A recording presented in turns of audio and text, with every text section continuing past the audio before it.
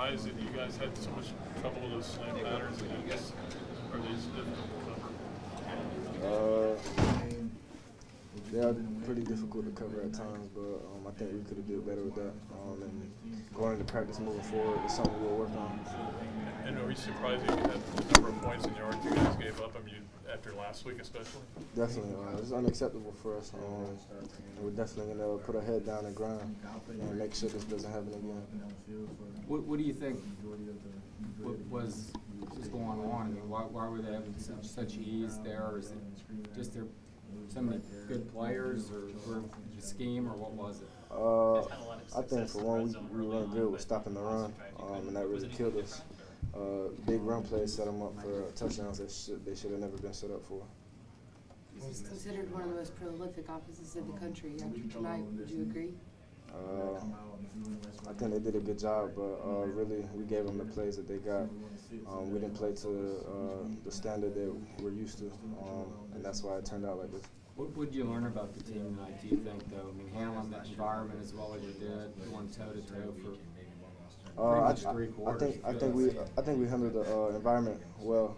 Um, it's just that we made mental errors um, that shouldn't have happened. Still control your own destiny in the SEC East. How much is that on the top of your mind? Is that a Uh, it's, it's really important because you know we're trying to win the East, trying to get into Atlanta, and that's still possible uh, with this loss. So we're gonna put this behind us, uh, watch the film, um, and get better. Did you feel like you guys showed you can pretty much play with anybody tonight? Uh, still, I, I know we can play with anybody. Uh, we just got to play up to our standard and um, just focus in on our assignment. John, the lo- not having him, I mean, how, how big was that? It just Yeah, seemed, you not- guys- it was hard to contain Burrow. Not having John, uh, it was uh, it was it was it killed our vibe. Um, but we need to learn how to play without uh, some guys. Sometimes someone's gonna be down, and we need to learn how to play without them. And then Jab- Jabari getting hurt again. I mean, when you take those two guys off this defense, what is, what's that do?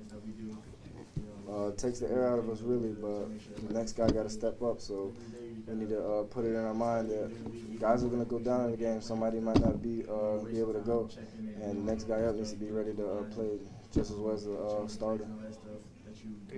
You, you guys won ten in a row coming into this, you know, it's, it's one defeat at a very tough place to play. I mean, how do you just feel like the direction of things right now? I mean, this is, how, how big a blow do you think this is, or you just feel like, hey, it's just one, one game we'll learn and move, move forward? Uh, definitely very upset about a loss. Uh, it's never okay for us to lose, um, but just got to put it behind you. We got uh, a lot of SEC opponents coming ahead of us, and we need to focus on that.